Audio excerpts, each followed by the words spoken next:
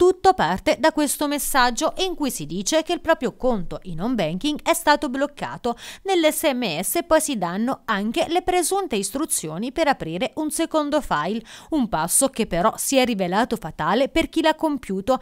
In questo modo, infatti, i clienti si sono trovati svuotati il conto corrente, un'ondata di truffe che ha colpito i risparmiatori del Monte dei Paschi, soprattutto ad Arezzo, dove ci sono state 25 denunce solo nella mattina mattinata di giovedì alla polizia postale. Gli ammanchi denunciati vanno dai 4.000 ai 24.000 euro. Per la polizia postale quella che agisce è un'organizzazione di alto livello capace di intercettare clienti veri a cui manda un messaggio proprio della loro banca. Il passaggio chiave è quando vengono utilizzate le istruzioni per riaprire un nuovo conto in home banking. Una volta inserite le credenziali, infatti queste forniscono ai truffatori il modo per svuotare i conti conti. Nel raccogliere le denunce, la raccomandazione agli utenti della polizia postale adesso è quella di non aprire le mail di alcun istituto bancario.